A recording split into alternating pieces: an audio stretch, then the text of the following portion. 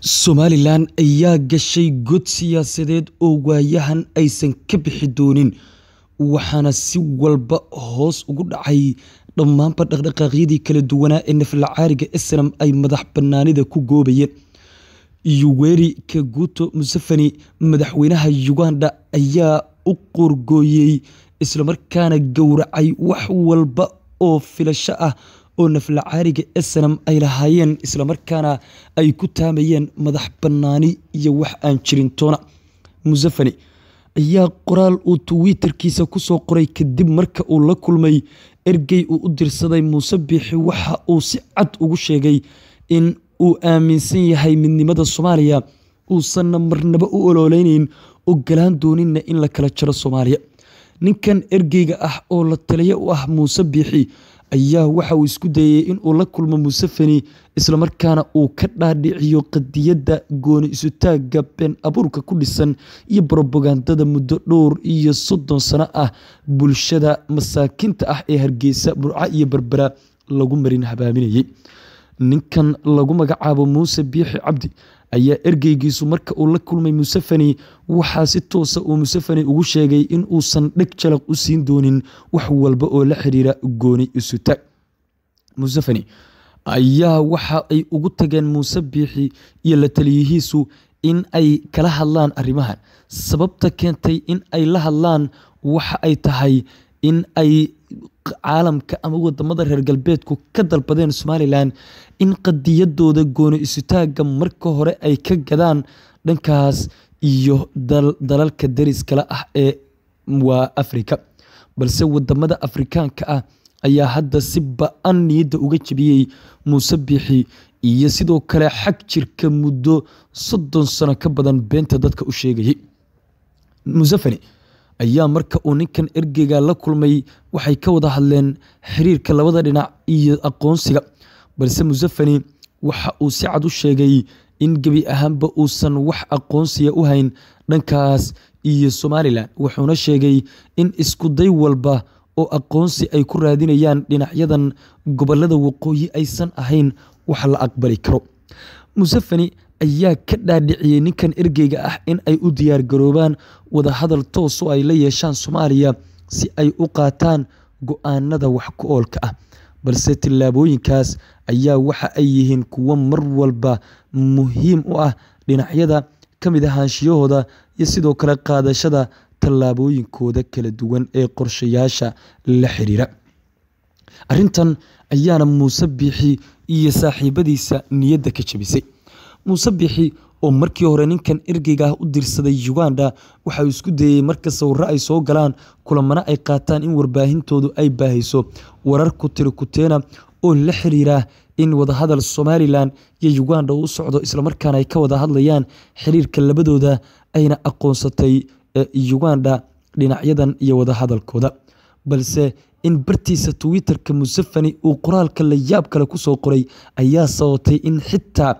warbaahintii ku hadlaysay afka nidaamka naflacaariga Islam ay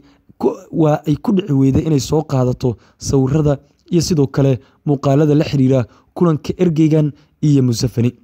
Arrinta kale ee la yaab kale ee dhacday ayaa waxay tahay in Museveni markii ugu horreysay uu bartiisa Twitter-ka ku soo qoray Jamhuuriyadda Somalilan balse markii dambe uu ka tirtiray taas oo mar kale ceeb iyo fadeexad ku noqotay.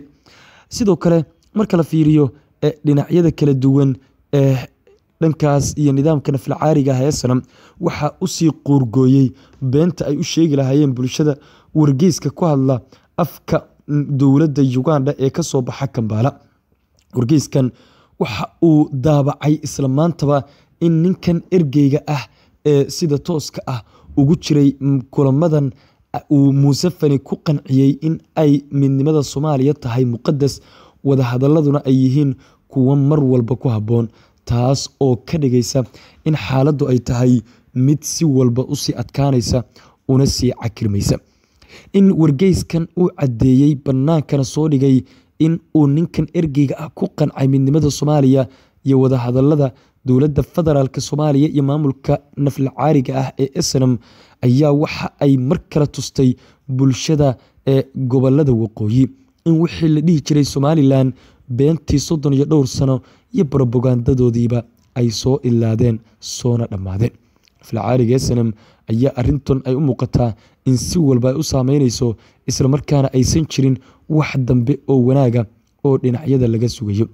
Naflacaariga snam tallaabooyinkooda iyo sidoo kale qorshayaashooda ayaa u muuqda inay yihiin kuwii fashilka cebta iyo sidoo kale dhibaatada ku noqon lahaa dhankaas iyo naflacaariga tallaabooyinkooda iyo sidoo kale qorshayaashooda ayaa sidoo kale mar kale waxay ka dhigaysaa in dhinacyadu ay ka fakeraan go'aanadooda tallaabooyinkooda iyo sidoo kale go'aamada u gaarka ah.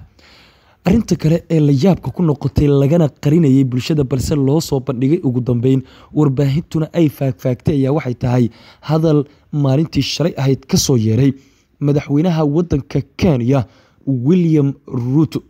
Ruto ayaa isaga oo si weyn uga hadlaya qadiyadda afrika. Waxa uu sheegay in waddamada afrika waayihii dambe ay si weyn uga soo dhalaaleen qadiyadaha dhexdooda ah wada shaqayntooda iyo sidoo kale arrimaha gaarka ah ee iyaga la xiriira.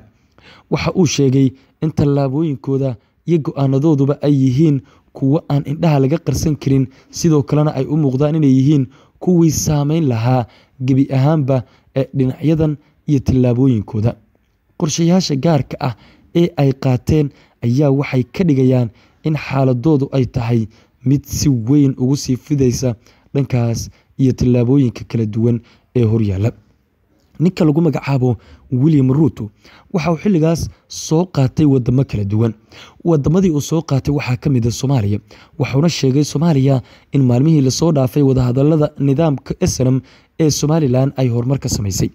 Weliba waxa uu sheegay in dhammaanba waddamada afrika ay si weyn diiradda u saarayaan sidii dib u heshiisiin dhab ah looga samayn lahaa soomaaliya. Dib u heshiisiintan waxa uu weliba carabka ku adkeeyey in uu danaynayo in si weyn ay u saameyso dhankaas iyo dowladda federaalk soomaaliya iyo maamulka somalilan isagoo weliba soo qaaday qadiyadda deegaanada s s c. Waxa uu sheegay in si dhow ay ula socdaan dhibaatooyinkii ugu dambeeyey ee ka dhacay meelo ay ka mid tahay laascanood waxauna sheegay in dhammaanba laga doonayo dowladda federaalk soomaaliya in dadkan goboladeeda waqooyi dega ay wada hadal siiso islamarkaana si weyn diiradda ay u saarto tallaabooyinka ay qaadayaan iyo qorshayaashooda qaabka loo dhaqangelinayo. Naflacaariga snam waxay u muuqdaan in arintan ay mar kale wadna xanuun ku noqotay dhibaato xoogle ay ka soo gaartay ayna adag tahay markan in la helo jawaab kale oo looga fakarayo tallaabooyinkooda iyo sidoo kale qorshayaashooda kala duwan. Naflacaariga dhammaanba go'aanadooda tallaabooyinkooda iyo qorshayaashooda ayaa ka dhigaya inay joogaan xilligii ugu habboonaa iyo sidoo kale wakhtigii ugu macquulsanaa ee ay la hadli lahaayeen lana heshiin lahaayeen dowladda federaalka ah ee soomaaliya. Soomaaliya ayaa u guulo hadda gaaraysa nidaamka naflacaariga ee iyo somalilanna waxa ay hadda si dhaba dadkooda u xaqiiqsadeen in lama horaan ay tahay la midoobidda soomaaliya. Warqaba t v ayaan idiin soo gudbin doonaa dhabarjabyada xoog gale ee ku dhacaya naflacaariga ee iyo guuldarooyinka dul hoganaya